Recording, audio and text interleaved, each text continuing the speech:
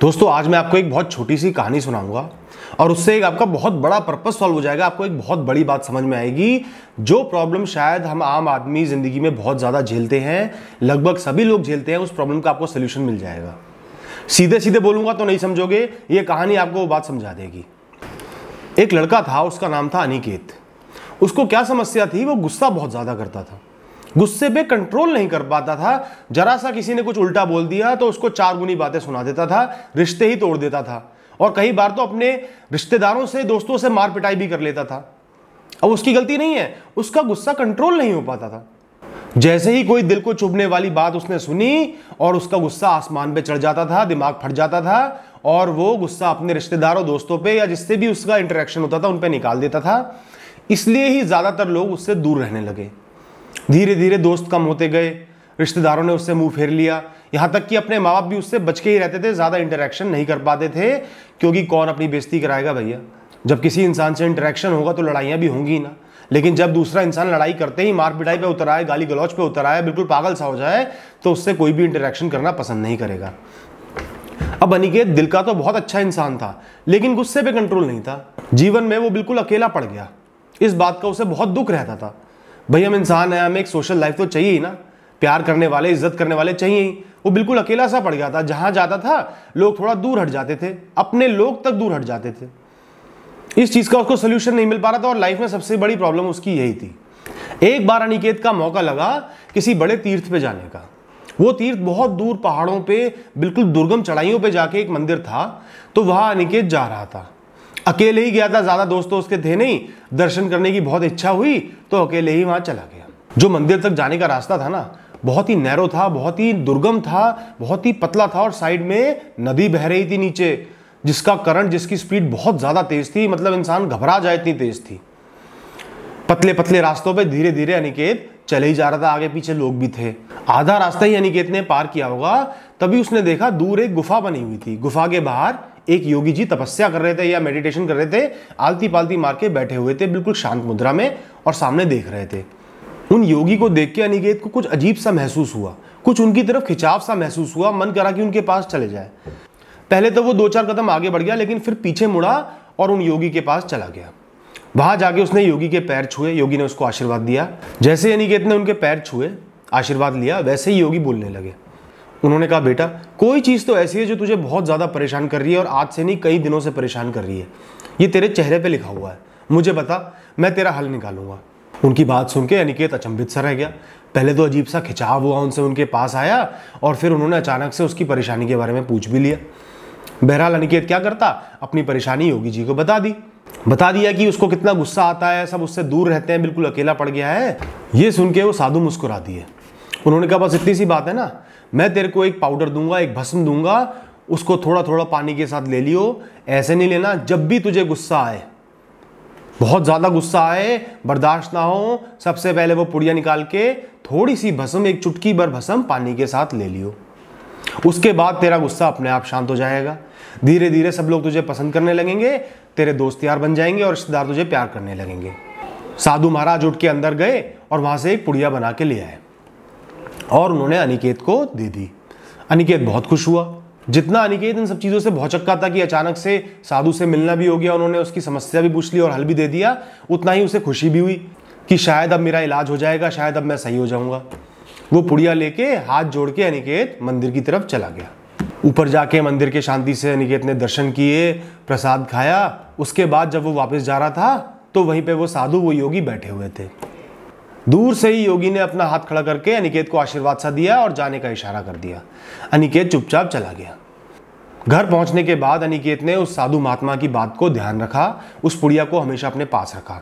जब भी अनिकेत को गुस्सा आता, वो गुस्सा छोड़ के सबसे पहले पानी और वो पुड़िया में से थोड़ी सी भस्म निकाल के खा लेता, उसके बाद उसका गुस्सा बिल्कुल शांत हो जाता। और अगर शांत भी ना होता तो गुस्से की तीव्रता कम हो जाती। धीरे धीरे अनिकेत के दोस्त भी बनने लगे, अनिकेत के रिश्तेदार भी उसे पसंद करने लगे माँ बाप भी उसको पसंद करने लगे। जितना लोग उससे दूर भाग रहे थे, उतना ही धीरे धीरे लोग उसके पास आ गए दोबारा। उस पुड़िया ने एक जादू सा कर दिया। कुछ हफ़्ते ही हुए थे, एक आध महीना ही बीता था कि अनिकेत की ज़िंदगी बदल गई। लेकिन वो पुड़िया खत्म होने लगी। बहुत थोड़ी सी बसंत बाकी थी, एक या दो बार की बाकी थी, अनिकेत को घबराहट हो गई। कि अगर ये भस्म खत्म हो गई तो मेरी पुरानी ज़िंदगी वापस आ जाएगी। कोई मुझे पसंद नहीं करेगा, मैं सब पे गुस्सा करूँगा और सब मुझे छोड़ के चले जाएँगे। दो दिन तक अनिकेत सो नहीं पाया, फिर उसने सोचा, क्यों ना मैं महाराज जी के पास दोबारा चले जाऊँ? सफ़र दूर का था, लेकिन ज़िंदगी ज़्यादा ज़रूरी थी, इसलिए अनिकेत पुड़िया लेके थोड़ी सी भस्म लेके और साधु महाराज के पास दोबारा उसी तीर्थ पे चला गया। बहुत दूर की यात्रा करने के बाद, काफ़ी चलने के बाद अनिकेत उसी गुफा के पास पहुँच गया। लेकिन वहाँ पे अब कोई साधु महाराज नहीं थे। बहुत ज़ोर ज़ोर से चिल्लाने लगा, आवाज़ देने लगा कि शायद कहीं दूर हो तो सुन ले, लेकिन किसी ने उसकी बात नहीं सुनी। एक तो वहाँ जो नदी बह रही थी, उसकी आवाज़ इतनी तेज थी, बहुत देर तक इंतज़ार करने के बाद फाइनली अनिकेत ने हार मान ली। वो समझ गया कि अब उसे वो साधु महाराज नहीं मिलेंगे, उसका बुरा वक्त चालू हो गया है। फिर भी उसने कहा, एक बार गुफा के अंदर जाके देख लेता हूँ, शायद वो भस्मी मिल जाए। इसी तरह वो गुफा के अंदर घुस गया। गुफा ज़्यादा बड़ी नहीं थी, जब अनिकेत गुफा के अंदर घुसा। उल्टे हाथ की तरफ़ एक लेख लिखा हुआ था। उसे यकीन हो गया कि वो लेख साधु महाराज ने लिखा था, वो उसे पढ़ने लगा। उस पर लिखा था, बेटा, मुझे पता था कि तुम कुछ समय बाद वापस आओगे। ये पुड़िया ज़िंदगी भर तो चलेगी नहीं, लेकिन मैं एक जगह टिकता नहीं। मैं निरंतर चलता रहता हूँ, यात्राएँ करता रहता हूँ, मुझे जाना पड़ेगा। मैं तुम्हारा हल, तुम्हारी दवाई इस दीवार पर लिख के जा रहा हूँ, इसे समझ लेना। उसके बाद लिखा था, बेटा, ये जो मैंने तुम्हें भस्म दी थी, ये कुछ नहीं है, सिर्फ़ राख है। इसमें तुम्हारी बीमारी का इलाज करने की क्षमता या शक्ति नहीं थी, वो क्षमता थी तुम्हारे खुद के अंदर। ये भस्म देने से क्या फ़ायदा हुआ? जब भी तुम्हें गुस्सा आता होगा। वो जो क्षण है ना, जिस क्षण में वो गुस्सा तुम्हारे सिर पे चढ़ जाता है, अपनी चरम सीमा पे पहुँच जाता है, उस क्षण पे उस गुस्से को ना निकाल के, रिएक्ट ना करके तुम सबसे पहले वो पुड़िया लेते होगे और पानी पीते होगे। उसी में कहीं क्षण निकल जाते होंगे। तब तक तुम्हारा दिमाग ठंडा हो जाता है। ठंडा भी नहीं होता तो वो जो बहुत ज़्यादा गर्मी थी, वो थोड़ी सी शांत हो जाती है। तुम्हें सोचने का मौका मिल जाता है। तुम्हारा दिमाग ये सोच लेता है कि इस गुस्सा करने से क्या क्या बुराइयाँ हो सकती हैं क्या क्या परेशानियाँ आ सकती हैं। कुछ क्षण ही बहुत होते हैं दिमाग को सोचने के लिए, लेकिन अक्सर हम इंसान क्या गलती करते हैं, जिस क्षण गुस्सा आता है, उसी क्षण अपना रिएक्शन दे देते हैं, उसी क्षण कुछ ऐसी गलत चीज़ कर जाते हैं, जो वापस नहीं हो पाती, जिसका फल हमें लंबे समय तक भुगतना पड़ता है।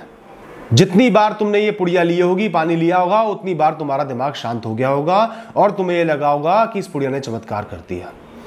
चमत्कार इस पुड़िया ने नहीं किया, चमत्कार उस दो क्षण के सबर ने किया, उस चार क्षण की सोच ने करा। आगे से ध्यान रखना, जब भी तुम्हें गुस्सा आए, तुम दिमाग में इस पुड़िया को बिठा लेना और ये सोचना कि अगले कुछ क्षण मुझे रिएक्शन नहीं देना, गुस्सा नहीं करना, जवाब नहीं देना। चार क्षण सोच लिया या चार क्षण बीत गए, अपने आप दिमाग ठंडा हो जाएगा और एक मेच्योर एक समझदार रिएक्शन निकलेगा। समझदारी नहीं भी होगी तो बहुत खराब रिएक्शन नहीं निकलेगा। लोग तुमसे नफरत नहीं करेंगे। इस बात को ध्यान रखना और तुम्हारी समस्या जीवन भर के लिए हल हो जाएगी और तुम जीवन में खुश रहोगे, लोग तुम्हारे पास रहेंगे। अगले एक घंटे अनिकेत उसी गुफा में खड़ा रहा। वो सोचता रहा कि बीते महीने में क्या हुआ? साधु जी की लिखी हुई बात और अपने साथ जो आप बीती हुई, उसको जब उसने मिला के सोचा तो उसको एहसास हुआ कि साधु महाराज बिल्कुल सही कह रहे हैं। जादू उस पुड़िया का नहीं था, जादू वो चार पल शांति के बिताने का था, जादू जो एकदम से रिएक्शन नहीं दिया, उससे हुआ। इस बात का एहसास करके और मंदिर के दर्शन करके अनिकेत वापस चला गया। घर जाने के बाद आगे से जब भी उसे गुस्सा आता, वो चार क्षण सिर्फ़ सोचने में लगाता या चाहे सिर्फ़ पानी पी लेता, उसके बाद उसका गुस्सा बहुत ज़्यादा शांत हो जाता।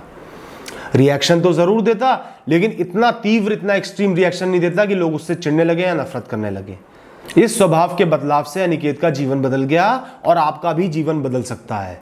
जब भी आपको बहुत ज़्यादा गुस्सा आए, गुस्से में कभी भी रिएक्शन नहीं देना, क्योंकि गुस्से में आप आप नहीं होते।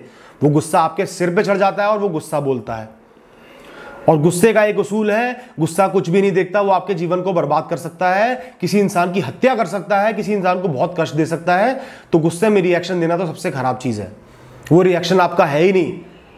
वो किसी एक राक्षस का रिएक्शन है जो आपके थ्रू आ रहा है, आप ये समझ लेना। चार क्षण सिर्फ़ सोचने में लगा दो कि इसके कॉन्सिक्वेंसेस क्या होंगे, या जिस इंसान पे मैं गुस्सा कर रहा हूँ, क्या वो वाकई में इतने गुस्से के लायक है? या उनकी बात का आपको मतलब समझ में आ जाए, सिर्फ़ चार क्षण वो गुस्से को रोक लो। चाहे पानी पी लो, चाहे कुछ सोच लो, उसके बाद अपना रिएक्शन देना। इतना ही कर लोगे तो आपकी ज़िंदगी बदल जाएगी और बहुत अच्छी हो जाएगी और जो आपका शॉर्ट टेम्पर है, जो बहुत गुस्सा करने की आदत है, वो बिल्कुल सही हो जाएगी, बिल्कुल सही नहीं भी होगी, काफ़ी हद तक सही हो जाएगी। ठीक है ना? All the best thank you